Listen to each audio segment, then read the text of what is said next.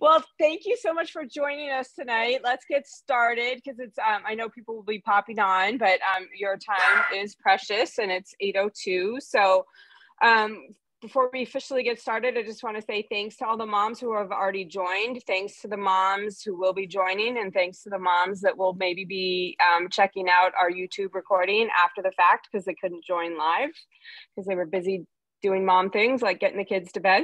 Um, and also, I just want to give, as always, a quick shout out to Jennifer Claunch, who's on here tonight, who is my um, uh, partner in crime, helping to run this group and does so, so much. So thank you, Jennifer. And then I also want to thank Allison Lord who is yes! part of Amanda's team, and she has really been instrumental in bringing us a number of great authors um, to the club, and obviously now has brought Amanda to us tonight. So a big thank you to Allison. She is a delight to work with, and um, and uh, she's got some amazing clients. So um, yes, and I Jennifer agree. is, is in is Texas fantastic. with you. I see that, Jennifer. I didn't know that, and I love my Chuy's. It's right down the street. That's yeah. why the yoga and Chuy's, I need to add a little cardio. I'm going to apologize. My schnauzers are really loud, and hopefully, I told my son to come get them, but we'll see. I might be hearing right. their my, little yips. I can I can guarantee my Bernedoodle will make an appearance during this oh, at good, some point. so it's all good. We roll with it. We have crying babies and dogs and all good. And I think there's like a crazy storm rolling through tonight. So I, am oh wow, I hope I don't lose power. Yeah, it's uh, front. We're going from like 85 to 55 in 10 minutes. So it's that good. sounds amazing. I know. It's a hundred uh, here, I think. Oh goodness, yeah. Well, we went from you know freezing cold to to hot and now we're going to go back so anyway wow. um, so um, if, for those of you that don't know amanda ward is the author of um, sleep toward heaven how oh. to be lost love stories in this town forgive me close your eyes the same sky the nearness of you and the jet setters your best-selling novels have been featured in People Magazine, the New York Times, and so many more. And you have been optioned. Some of your work has been optioned for film and television. So let's chat about that at the end. Yes. And and translated into 15 languages, which is incredible. Uh, I assume everybody knows, but she lives in Austin and also um, spends some time in Colorado. And then you have probably the dream job that we all would aspire to, where you get to write in the morning and spend the afternoons with your children. So it sounds fantastic. And obviously, your dogs. yes, that's right. I spend all day with the dogs. And mm. sometimes making my job even better, I go away to motel rooms to write. I used to go to really cheap motels. Now sometimes I'll go to a hotel. which is very just to concentrate i bet. It, it, it is the most luxurious thing in the world as a mom to check into a, even a motel you know and like turn on the tv and watch law and order and get a cheeseburger. Oh my gosh. It is the dream. it is the dream I love that story. So let's start off. Um, we're here tonight to talk about the lifeguards, and you can see yes. my yes, my well-read um, advanced copy. And um, wait a minute. So did you know the hardcover has a different ending? What? Uh, Allison, I so that I changed the ending between the advanced copy and the hardcover but we can talk about that later. But yeah, okay. I, I had a sort of like freak out in a bubble bath and I was like, it's all wrong. So I changed it and the hardcover is different. Okay, well, we can't talk about that yet because um, okay. I was just gonna say um, we're gonna try to avoid spoilers until the very end in case people, you know, want to um, have a really good tease about the book and um, and oh, go yeah, grab it. There's a lot um, of secrets. Oh yes. There's a lot of secrets. So we're gonna try to navigate until the end, and then and then we definitely have to talk spoilers. And now, I, you might have to tell me the hard. I know it's crazy. I know it. That's I've never done that before, but I kind of freaked out and and did that. That's awesome. And maybe, and maybe I'll have to disclose what your ending was here um, for the readers that read the hardcover because yeah people probably don't know what the the other ending was so that's really i mean fun. they're similar but to me it made all the difference so i'll just say that okay anyway okay so let's start with you giving um, your synopsis of the lifeguards with no spoilers, if possible. yes, I would love to. So, The Lifeguards is about three mothers in Austin, Texas, completely fictional. I had to say, at my reading in Austin, the entire front row was all the mothers I have known for 18 years because my son is 18. But in my novel, the three mothers have 15 year old sons. They're very different women, but they became friends before their children were born. And they consider themselves like sisters until one night, the first night of summer, the boys are biking out on the green belt, which is a bunch of hiking trails we have around my house in Austin. I had to make a map of the area. Oh, and awesome. the boys come biking home and the moms are drinking wine and margaritas and they throw their bikes on the ground and they tell their mothers there's a secret and they all have to decide from that point forward who they're going to believe how they're going to cover things up what they think about each other who their families are etc yes. Um, so what was the inspiration for the novel? Uh, um, and and twofold question when did you write this? Before the pandemic during the pandemic? You know it's such a great question jennifer. Um, and do you go by jennifer either just not jenny not jenny, jennifer okay. just not jenny yeah um, it's such a great question and one that i've been thinking so much about pandemic wise because now i'm working on a, another book that i thought would be post pandemic and yet i had covid last week so it continues mm. to affect us. But what happened with the lifeguards is that I sold it um, with 50 pages.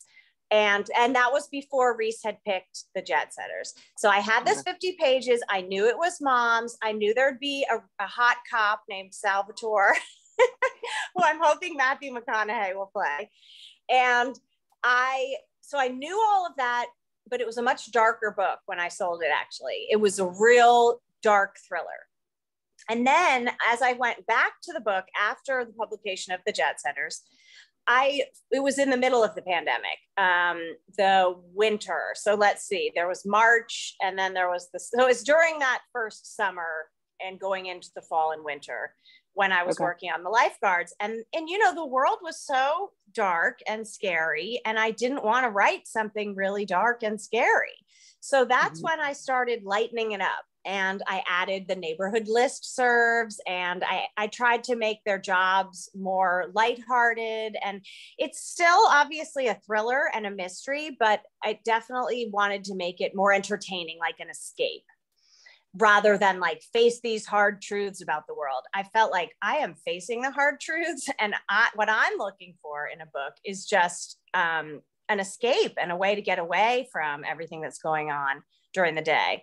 So that was how it ended up being written in the pandemic. We were living in Colorado, and I would go to my aunt's house every day and work on the novel. And I had the whole plot laid out on my uh, with index cards, and um, and yeah, so that's a little bit about how I wrote it.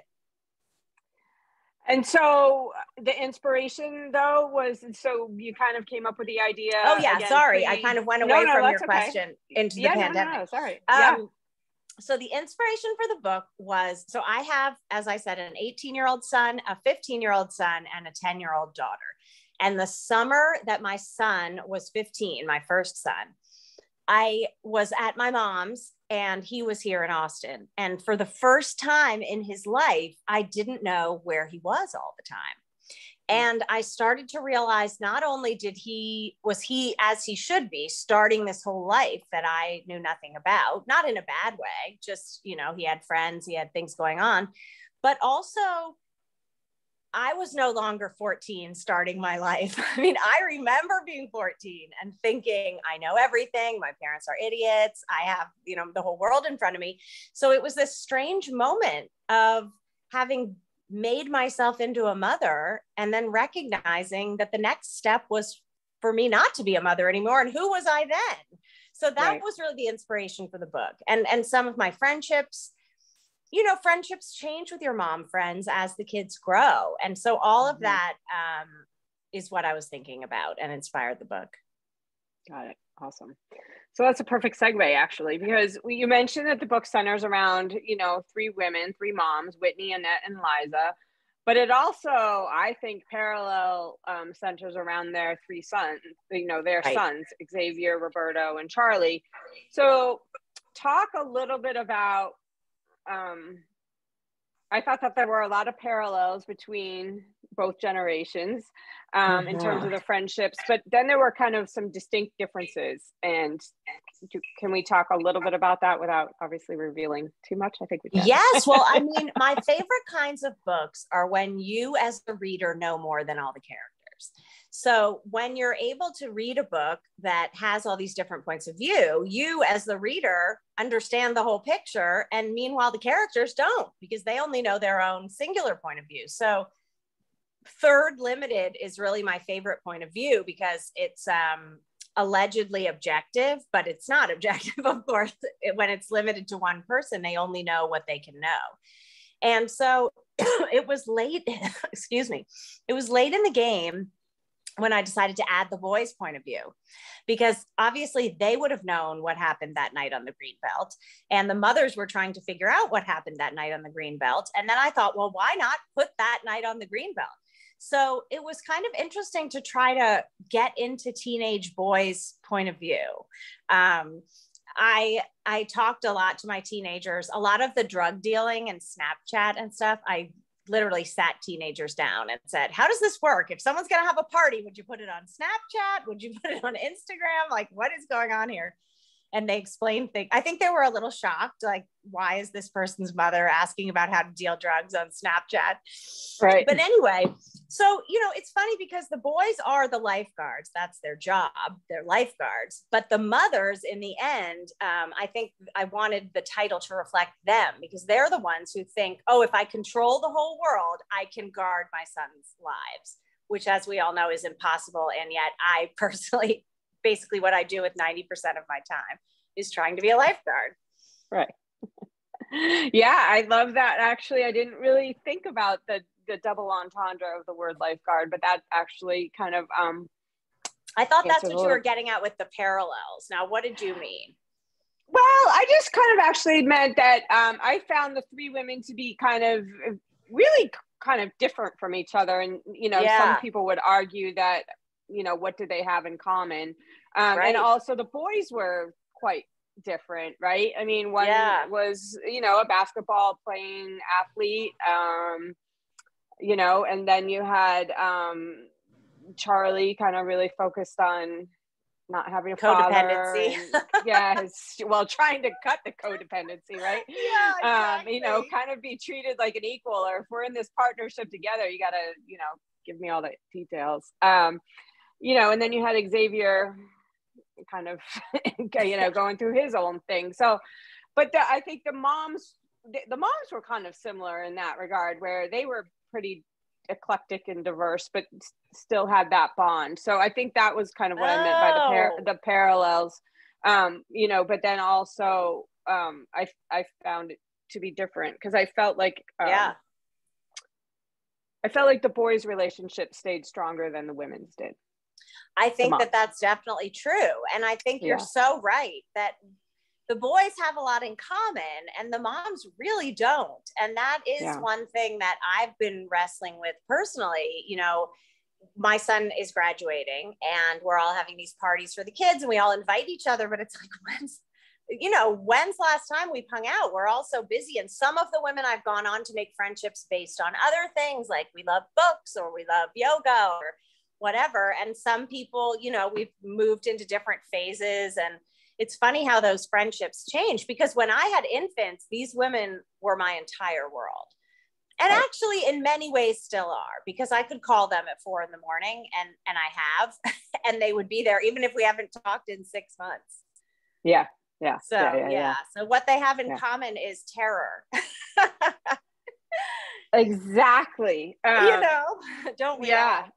Yeah. Well and that's a perfect segue too right? Friendships evolve and and that's i think really also what kind of happened um during the book. But ironically it was a it was really a short window where the evolution happened. Right. Well sometimes an event like that um, will sort of change things very quickly. There actually i wrote an essay about this. There was a meryl streep movie where a cop arrived at the door and says, We think your son has killed his girlfriend. And Meryl Streep's like, That absolutely didn't happen. I know my son. And the husband is like, immediately thinks, Oh, that did happen. How do I cover it up? And it kind of shows, um, it was based on a novel too. It shows how, in a split second, these realities can come out that have been there all along, but you've never had reason to look at them. Yeah, yeah, yeah, yeah. And a recurrent theme is that the boys are saying, Mom, listen to me. I have something to tell you. And every time, like the moms don't listen, you know, they, they I know dismiss it. It's that that was interesting to me too. So, um, so each of the main characters, and I would say they're, you know, the moms and the boys. So kind of, I'm going to call it six for right now. They kind of have a sub story to share. Um, and you tell the book um, from alternating points of view. So it's a lot, right? How did you juggle all of that? Did you outline kind of each of those little sub stories that you wanted to tell? Were those on the index cards? And, um, you know, did you have that all charted out or did you just kind of start writing and, you know, uh, Xavier's situation came about or? It's um, such a um, great question. You know, I have a sort of, so I I have to trick myself into thinking I have a plan, or else it just seemed seems way too insane. So what I do is I so th- this room that I'm sitting in overlooks all the trees and this is the room where I will sit and kind of think up where I think the story will go. And I have these index cards and I'll write on them like scene in the treehouse, scene with mother, scene with Annette, Annette's uh, American party, when Annette becomes an American party. Like I'll just see these scenes in my head and then I'll lay them all out on the floor. And I've studied the three act structure. And anyone in this group who is not only a Peloton rider, but a writer um, who's interested in that, there's a book called The Weekend Novelist that lays out the three act structure. So I'll lay it all out and you know plot point one and the climax scene and how it should work. So then I'll have this big pile of index cards that looks like it will be a fabulous novel. So when I go to write, I've always written in a closet. And when we moved into this house, we thought this room would be my office. But as soon as I sat down to write here, I felt like a fraud. So I go, I write in the closet right over here. so I'll pick an index card, whichever one I want. Maybe I'm in the mood to write a big party scene. Maybe I want to write a quiet scene. I don't know, whichever one I want. So the I get up, the kids go to school. I'm alone here. Now again, at you know, during the pandemic, I was never alone, as we know. But anyway, I pick a card and I go into my closet to write. Now, say it's a plane ride and the plane is supposed to go to France. So I'll be writing it and the stewardess will come and I'll just let anything happen. And all of a sudden the flight gets hijacked and lands in Morocco.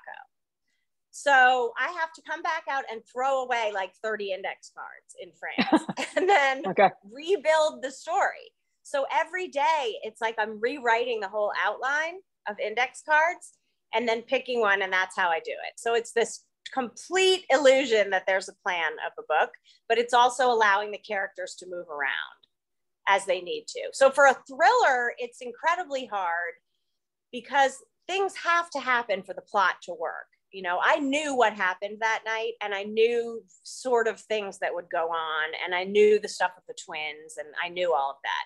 So things okay. had to happen and the characters couldn't just do anything they wanted, but they always want to do that. So it's hard. It's really hard to make them discover the clues they need to and also seem real because you have to let them do what they want. Yeah and so uh, whose story came first? Like what was that what Whitney's. came whitney okay. I read an article about people in the situation whitney is in which is a real thing and yeah. i became obsessed with as a mother what you would do. Right. Because you need to you know you're everything in your being is to protect your child. But what if you're in her situation? It's impossible. So I then thought of a plot that would enable it all to unfold. So that's where it started, actually. That makes sense now that you say that for sure. Yeah. And it's ironic of what her career choice is to I know exactly. I know. So, now that was so fun. So Whitney's career, for anybody who hasn't read the book, is a real estate agent in Austin, but she primarily does these doomsday homes, which seemed so hilarious when I thought it up two years ago. But it really is a thing that people are buying these underground bunkers and stuff. So I have friends, we have a big Google office here in town, and I had a friend who was the interior designer for them. And she said they would show up with all this beautiful furniture, and some kid in sweatpants would be like, I can't nap on that couch, so forget it. And she thought, oh my gosh. So I kind of wanted to have that whole world of Austin and powerful women and, you know, 20 year olds in sweatpants in charge of the decor. I just this there were so many scenes um that made me like I thought you did a fantastic job of like the suspense, but also there were just some moments of laugh out loud. Like, I don't know, like the, the scene where she picked up the one guy and she's in her Tesla and then she like has to give him like four Red Bulls and he's like ready to yell at her, you know, because she has to cut him off because she's got the crisis and, and, you know, he's ready to like yell at her. He keeps playing with closes the tes- Tesla door and off she goes. And I was just like, oh my God, that's so funny. So, so, the new book I'm working on is all humor. I just love writing comic stuff. I love reading comic stuff. I love watching things that make me laugh these days. Have you seen the show um, Girls Five Eva? No. It's a show on Peacock written, it's the new show written by Tina Fey and oh, it's a it's a girls band from the 80s who tries to get back together. They're called girls oh. five eva not four eva. It's really right funny. up my alley. I, I must so because i'm always reading for, for the peloton moms book club. I don't watch a ton of television but i will definitely check that out. As soon as i get through soccer season. I'm like on the countdown. Three weeks to go. Yes yes! I, I have my summer. on a plane. That's how i oh awesome. Yeah yeah yeah um, wait, Jen Conch, did you have a mess question there? Somebody just typed in. Uh, yeah, oh, you were wondering about the um, um, underground bunkers. Yes, so we just oh, touched oh, yeah. on that. So yeah, yeah, and then of course they, well, I think they played a pivotal role at the end of the Yes, my novel yes, they yes, they still do. They still do. okay. Um, but I actually have a friend, friends who are landscapers in Austin, and they've told me about they're not underground bunkers that n- none that I know of are underground bunkers yet, but they do have entire housing complexes that are like ready to go if you need to go somewhere. Yeah, crazy. crazy. with like yeah. eye retina scanners and all the stuff that I put in the book. It's sci-fi and crazy, but crazy, crazy. And crazy. yes, though that, that all is in both copies because I got very into the underground bunker and decor and how you decorate an underground bunker. yeah, yeah, yeah, yeah. Well, there was the one moment I was like, door. What? Yeah. And then I was like, oh, of course. I was like, I oh, was too. I was like, yes, yeah. it's a door. So, and in terms of the design, um, so I'm obsessed with Elin Hilderbrand, who I know is a writer. I assume she's been to your book club. She's so wonderful. And she writes about interior design all the time. So I kind of mm-hmm. decided to do that with this book. And I'm having fun with the next book too. Just really does I do, you know, all of my character work. I know their job, I know their husband, I know their issues, but now I also know, and I know how they dress, but I've started looking at design magazines and making up what their living rooms look like too. Yeah, well, her sister-in-law is a is an interior designer actually, and I yes. think she's from Texas. She's from Texas, I think. Oh, really? I didn't know that. Yeah, I believe so. Yeah, yeah. Elin actually was pretty much instrumental in in really getting this ball rolling for all of our author chats. Actually, she was our oh, first author chat, and um, she is so generous and kind, and such is, a great writer. Have you read the Hotel Nantucket yet? It's on its way. Oh, me too. Just, yeah, because we're going to be chatting with her in June, so she just messaged me that. oh, I'm going to tune in. Okay, great. Oh yeah, please. Are you? You should.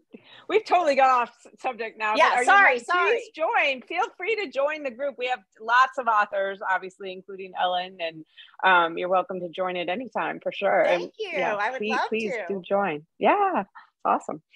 All right, so back on track. Back to your yes, book. Sorry, not, not Elin's.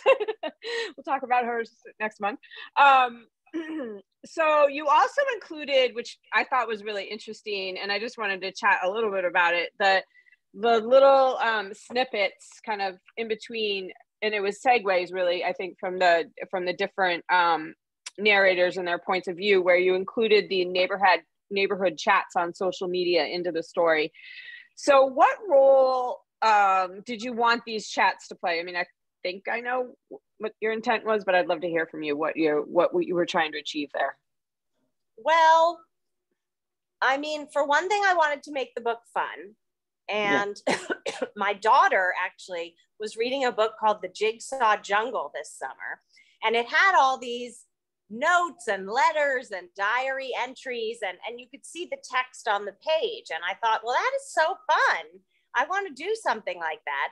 And so you know, I knew that the texting and stuff would be interesting, but then I also thought, yeah, the list serve, we have a lot of drama on my neighborhood list serve, especially this week, actually. I started a lot of drama because they're oh. building a giant house behind mine.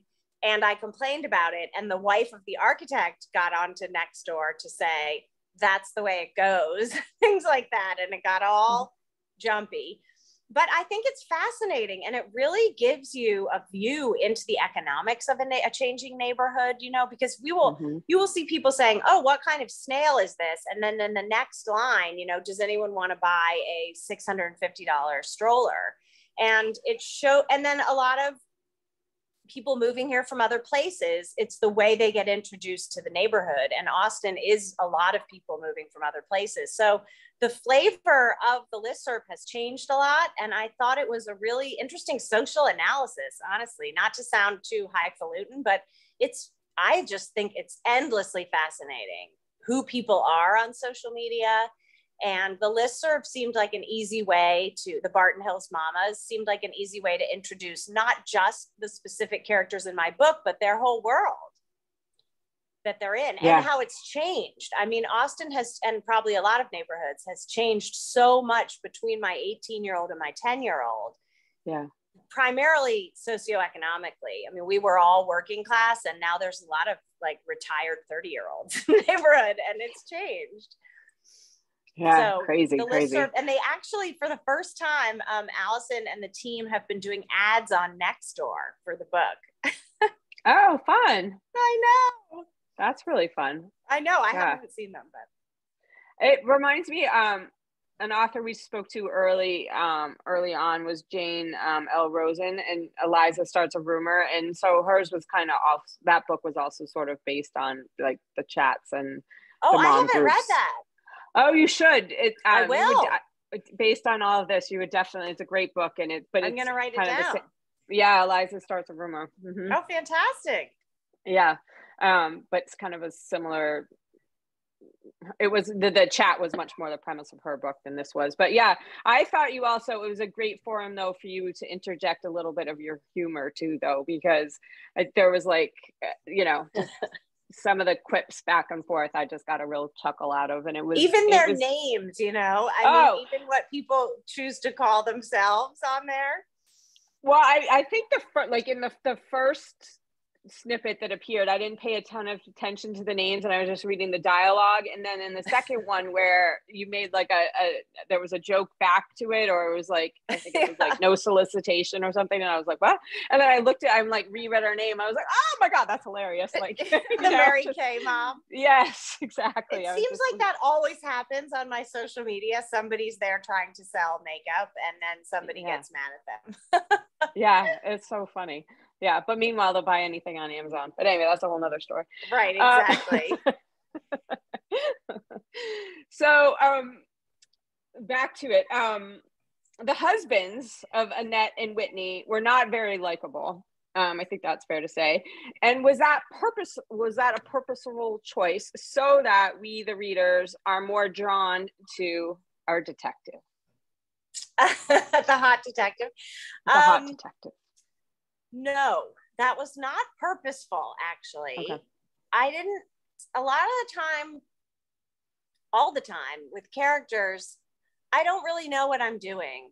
They just sort of are who they are. And um, I, however, Whitney's husband had to be uniquely obsessed with his image for the plot to work. but the other ones just uh, were who they were. I thought they were funny. I thought Midland, Texas has sort of a reputation because it's got a lot of oil money and it's actually a beautiful town. But I thought it was fun to play with the stereotype of a wealthy Midland guy um, and his decor. But yeah, no, they just kind of emerged who they were. And then what happens is I'll just write characters and then later someone, excuse me, my editor will say to me, I didn't like this character, I didn't understand this character. And then I'll sort of figure out who they are because I already know and it's not uh, showing up on the page. That happened with my book, The Jetsetters, quite a bit. That I thought they were fully realized on the page, and people would say, I don't like them. And I had to go kind of explain why they were acting the way they were acting. And then you like them when you think, oh, I see why she's being rude. It's because she's insecure or whatever. So yeah, they just kind of appear as who they are. I don't do a lot of work on that part. Yeah, awesome. So let's talk a little Salvatore bit about. I adored from the beginning. Yeah, always. Let's that. talk a little bit about him. And yeah, he's, he's a he's a he's a widow. That's disclosed pretty early on, and kind of struggling with the loss of his wife. And uh, you know, he's obviously a detective and has a very demanding job, and then trying to somehow you know become a full-time parent and and juggling all those demands. And um, i think he would probably be the first to say he wasn't doing it very well. Um, yes. He was not doing it well. Yeah. Um, but you know you're you're constantly um, you know i know i was i was like well i'm rooting for him to solve this case and you know and get get himself kind of out of you know hot water with his boss for having you know being so distracted and, and yeah. taking the time off and such. Um, but a lot of people and i know somebody commented earlier um, we would have loved to have a little bit more backstory about how uh, his story ends up. Yes. And uh, you know you um, at the end move to a year later and um, kind of wrap it up for us. But I think uh, rarely do you see people say, "Oh, I would, I would have liked maybe a hundred more pages to to hear more about." That's incredible, and I'm so and, glad to hear that. I love. Yeah, so maybe there's a follow up there. I would love that because he, I had a really hard time writing a cop. This is the first time I've ever written a cop character, and I am, as I said, Miss Law and Order. I mean, I will watch 2020 anytime. Uh, and uh, okay, maybe 90 Day Fiance, but if there's no 90 Day Fiancés left, I am all about the 2020, the crime shows.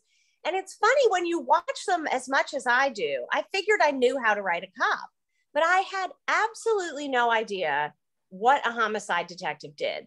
You know, I kind of knew they showed up at the crime scene. I didn't know what kind of car. I didn't know did they have a notebook? Do they have a partner? Are they taking pictures? In fact, the first draft of this book, the boys found a body on the Greenbelt, and I gave it to a friend of mine, Meg Gardiner, who's a thriller writer, who'd be fun to have on your um, podcast eh, or mm-hmm. Zoom. And she said, Why would they call a homicide detective? They don't call a homicide detective for just anybody. So I didn't even mm-hmm. realize when they would call an actual homicide detective.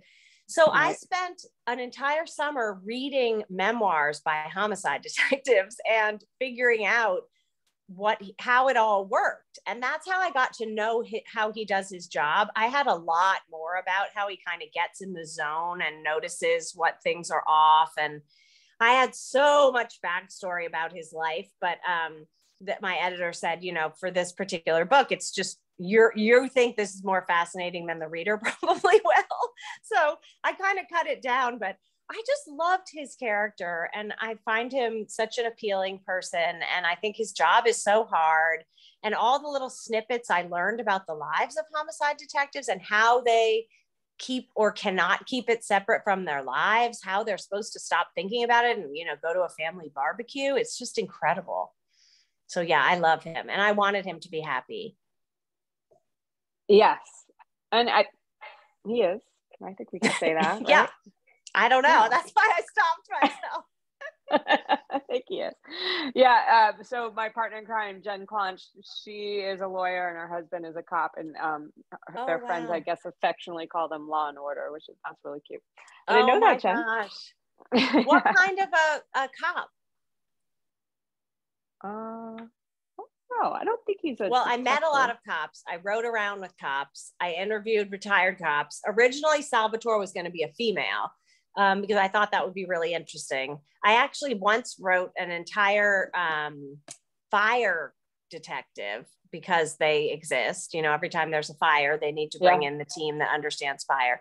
It's just amazing. It's such amazing, amazing work. And it's one of those jobs like a heart surgeon that you can't really believe is a job that's supposed to go nine to five because it's just incredible. Anyway, I hmm. loved writing him and I would love to write more. Oh, wow. Patrol deputy. Oh my gosh. Oh, in Harris County. Oh my gosh.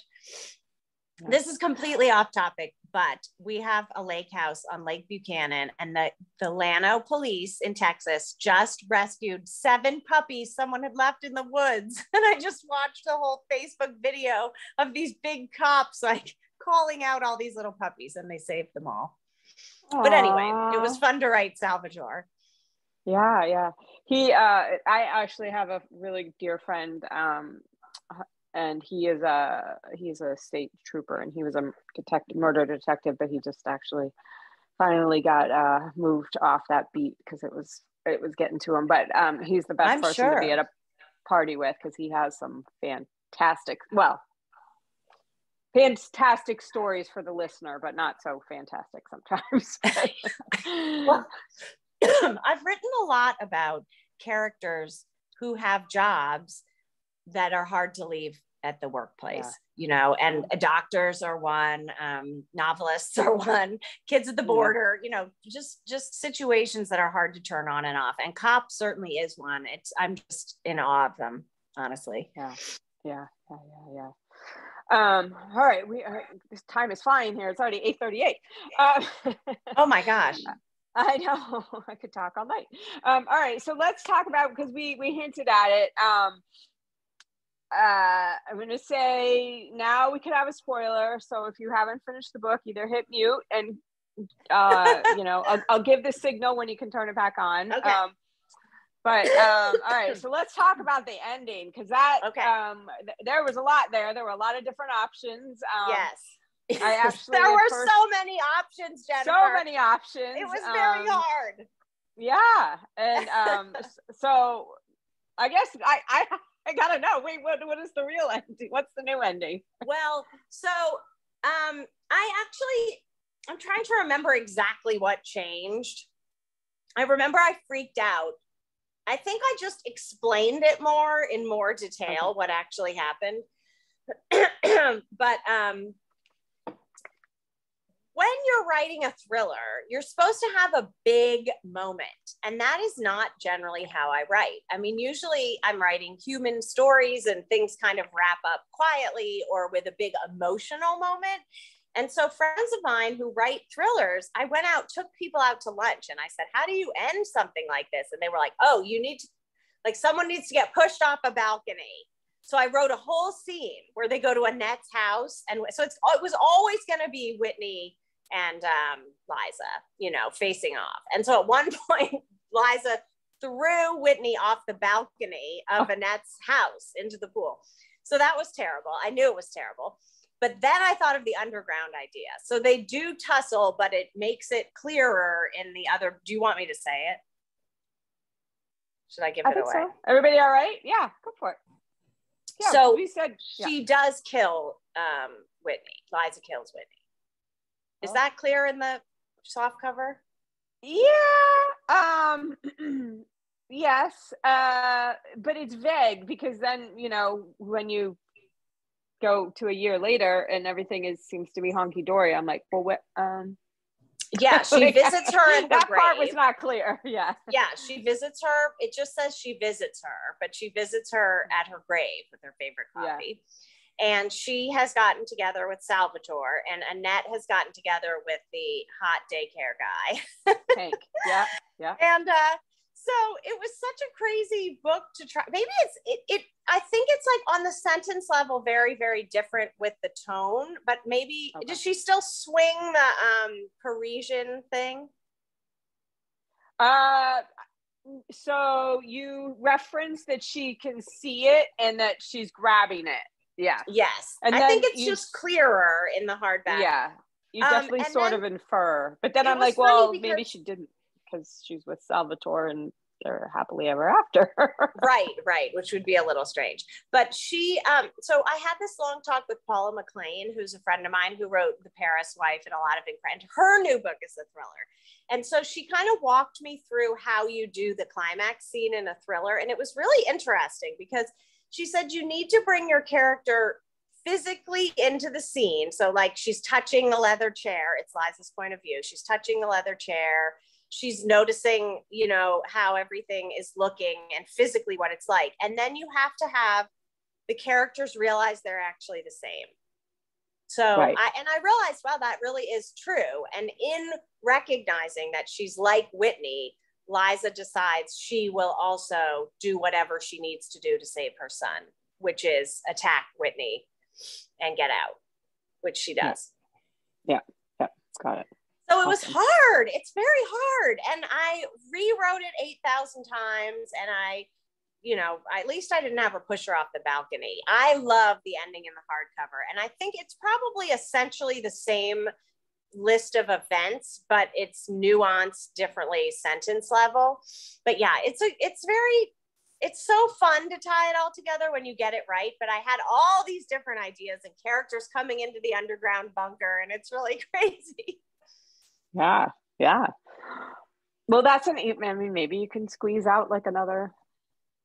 Well, what you happens? know, Roma's still alive, so right. Yeah, Roma. Yeah. I, in fact, one version she showed up at the very end, like a year later, like, "Hey, Charlie, let's go hang out." But I did. Then I cut that. yeah. it wasn't about that. But I'm sure uh, if they do it for TV rather than film, they will probably pull a second season out of that. Because that's which is do. a perfect segue. So let's talk about those film and TV rights. Is it? I'm assuming is it for Jetsetters or is it for lifeguards or both? Jet Setters is um, in production at ABC as a television oh. show, and awesome. the lifeguards is not. We have not decided yet. It's up for film or TV. And I think it would work best as a film, but we're still negotiating. So we don't know yet. Oh, well, congratulations. Oh, exciting. Thank you. And then my book, um, The Sober Lush, is being optioned, or a producer has optioned it to make it into a television show like a Anthony Bourdain style show about oh. like how do you go to Rome and not drink wine and how do you have a fabulous dinner party with mocktails and things like that. Fun. So, well, congratulations. That's thank that's you. And then Sleep so. Toward Heaven is getting reoptioned. That was optioned a long time ago by Sandra Bullock and never made. And uh, we just got a call from someone wanting to option it again. So life is crazy fingers crossed. Fingers I know. Crossed. Well, it's I've kind of try not to think about that stuff because I just can't control it and I can yeah. get really worked up about it. And I thought I was going to write on the jet setters. I was supposed to be in the writing room. And the more I went to LA, I realized I don't belong here. I belong in my little closet office and then doing yeah. a little Denis Morton. And that's my doing yoga with Denis Morton. And that's my perfect day. Yeah, yeah, yeah, yeah. And it's um, you know, as we talk to people, it's such a long process and it's not fast and it is very different than, you know, you working yeah. kind of independently, you know, just writing your novel. So yeah. Um, but that's that's very exciting. Congratulations. So we will look Thank forward you. to look forward to those. Um so what's next? What are you what are you working on now? Can you So I'm working on a book called The Peacocks. It's about three sisters and a mom and the youngest sister was widowed very young and she has always been kind of the sad sister that everyone feels sorry for and she falls in love with a guy who's very wealthy and maybe sketchy so the other sisters are like we're going to figure out who this guy is partially because they can't handle the sad sister all of a sudden becoming the wealthy, fabulous sister. So they all go to a Costa Rican um, jungle lodge for the wedding. And all hell fun. breaks loose. That's what that's what's going on right now, and it's really fun. But I haven't been to a Costa Rican jungle lodge because of the pandemic, but I'm hoping to go. Oh, and well, I Costa Rica's look at amazing, videos of them all the time. Yeah, it's amazing. Oh, well, that sounds super fun. When when do you think we'll see that? Will that be 2023, 2024? Um, yes, I think it'll be 2023. It'll be awesome. finished um, this summer, and not this summer, next summer. So I guess, oh, actually, it might be 2024. I don't know. Allison would know. yeah. I have two more set up, ready to go, and I just make the due dates. Awesome, awesome. Um, so we always like to end our chats, um, yeah, because we're already at eight forty-seven, um, with what you're currently reading and recommending. What have you What have you recently read that you love, or what do you? Oh my now? gosh! So I read constantly, all the time, and so the two books I'm reading right now. Usually, I have a book on a Kindle, a book on audio, and a book on my and an actual book. So the actual book I have is True Biz the new Reese pick uh, about the deaf community. And it is huh? fascinating. It's set at a deaf boarding school. And it's just an incredible story. And they happen to be deaf, but then you learn so much about the difference between deaf people who have cochlear implants and the ones who mm-hmm. can speak in sign language. And there's stuff about sign language. It's fantastic. Okay. The book I am listening to is called Trust. It's brand new and it's many generations of a wealthy family. And I think it might mm. end up at a Bernie Madoff type of situation. and then the book that I am, well, I'm waiting for the Hotel Nantucket. That is my next read that I can't wait for. But I just finished a book um, by Emily St. John Mandel, who wrote Station 11 and her new book was called The Sea of Tranquility, and I just read that on the Kindle. It's it's kind of crazy. It's sci-fi, which I didn't know. And a little time travel, right? Yes, yes, and yeah. it has characters from her other books. So you're yeah. thinking something happened to the characters, but then if you find out they're in a time loop in this book, it casts all the other books in an interesting thing. But that's not usually what I go for. But I was gasping away, you know. I couldn't yeah. It. I haven't read I haven't read that yet, but um, a lot of moms in the group are really raving about that book and um, saying I didn't know how, what the Sea of Tranquility was. Do you know what it is? It's uh, the lake on the moon. I I did not know that. Yeah. Oh, that's, that's what they called it. And it has oh. moon colonies and stuff. Oh, How about you? Okay. What are you reading? Um, well, I um, read, so I read this, Allison sent this to us, gosh, a year ago. Um, and I read it a year ago. And then I literally just read it again um, this weekend at, at the soccer tournament, just, you know, so to get all the characters fresh in my mind and Thank everything. you. Yeah. So um, I, next up for me is um, Darling Girl. What's that? Um, that is by Liz. I don't have it in front of me. I'll look Jen it up. I'll look it up. Me. Yeah, it's actually a book of the month pick, I think, for May, and everybody's raving about it. So actually, Liz is going to join us in June, just before Elin. So yeah, so fantastic book of the month club. Yeah. Oh, I didn't see it. I didn't pick a book this month. I'm in book of the month club, but I didn't.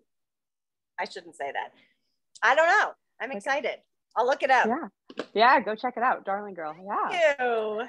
Well, thank you so much for joining us. This was so fun. Um, I wish I lived in Austin because I feel like we could be friends. And- I know, me too. Hey, what rides should I start with? Because I really do want to, I need to get some cardio in my life. Well, so I mean, I when I first started, well, first of all, everybody can chime in here, but um, I always recommend um, there's a gentleman, yeah, Cody. Okay, Cody. Um, but I always say start with Matt Wilpers because he act for his beginner class. He actually teaches you how to spin properly. That's and, great. I need that because my knee started hurting. Yes. Um, and so like for me, I was coming off hip surgery, which is why I got the Peloton. So uh, and I had been a spinner, but I took his class and learned a lot about technique that I did not know about. And I think that really helped me to move into more, you know, um, obviously, Matt has I mean, crazy intense classes as well, but his beginner class, I always say for people. But then I think um, I always pick based on genre. Cody is awesome. Um, he was the one that was on Dancing with the Stars. He, he's a riot, and you'll fly through his classes. Okay, but, fun. Um, yeah, I, I think you know start don't don't be crazy don't think you have to jam out 60 minutes like a 20 minute ride is a really okay. good workout and you know this is really good advice yeah go at your own pace um you know just because they say stand up and you know and go hard. If you can't do it you can't do it but just you know get through the class and um learn how they pace you know because they'll they'll really pace you through it. And you can also gauge it i think by the music and the songs that are coming up. Yeah. Um and a lot of them will cue you of what's coming up or at the start of the at, at the start of the ride they say okay we're going to do you know one song of warm up two songs of hill you know and so you're prepped as well. Um oh, yeah amy saying, you're that's what i can do a 10 minute ride. I like it. That would be amazing. Yeah. i actually was kind of telling myself oh, i need to buy a $5000 bike and do 60 minute rides and then i haven't. I just keep doing the yoga but i know it i know i'd feel better. Whenever i go on book tour they have pelotons in the gym and i've done some classes and i just feel great. Yeah you feel great. And you know some days you just like some days i just do a scenic ride and i bring my book and i just kind of oh that's my so legs, nice. move my legs for 20 minutes because i just can't you know i'm just not there. But other days i'm like i gotta you know go yeah. get the aggression out. So um well thank yeah, you. That is such great advice and i'm gonna write all these people i did write them down yes the audio books are great a scenic ride with an audiobook. That sounds really nice. Yes, yes, yes, yes. Well, thank part you. Of, uh, Jen is my big audiobook. She got me hooked. I never used to never used to do audiobooks, but now I'm hooked. So now I now I can say I'm always reading and listening to a book, which is awesome. So I have a new book coming out on audio. This is my first Audible book. It's coming out in a month. It's um, and they have all these actresses because it's set in Savannah. So they got actresses with, and they have a guy with a Boston accent, Mose, and the woman with the Savannah accent. Anyway, it's called Cat and Vivian. It's my first Audible book. It's only Audible. Oh, okay. So we'll have to check that out. Okay. Yeah, it's only available on audio. It's you can't yes, even buy it's it. It's an Audible oh. original. Oh, fun! I oh, know. We'll definitely have to check that out. Okay, crazy. Yeah, but they go when they do the Audible originals. They do a ton of production and music. It's pretty fun. Yeah, we're going to be doing our first chat I don't want to give anything away, Jen Clonch, but um, where we're gonna link the narrator for the audiobook as well as the author. And oh, what a great a idea! Three-way discussion. Yeah, that's. Oh my gosh! well, summer. let me know if you want me and some of my readers. It's not Allison because it's only an audiobook. But yeah, I have. I was just talking to the actresses. Oh my gosh! For the lifeguards, they sent me a video. I'll make it quick because I know we have to go where they were like, Amanda, here's the Texas people. And they're like, hi, I, my name is Liza. I live in Texas. I was like, whoa, whoa, whoa, no, no, no, no, no. And they were sending me, they were giving them instructional tapes on how to talk with that accent. She's from Massachusetts. I mean, it's cra- right. I know it's crazy, but yeah, uh, they're they're doing the production now. It could be fun anyway. Oh, well, yeah. it's so well, nice I, to meet you, and this is yes, really fun. Thank you so much. So fun. Yes, and good luck. And would definitely love to have you back when your next book comes out, um, The Peacocks. And um, wishing you so much success. So thank you so much, and we will keep recommending the lifeguards in the group for sure. Thank you so much, Jennifer and Jennifer, and all of you. Good night. Good night.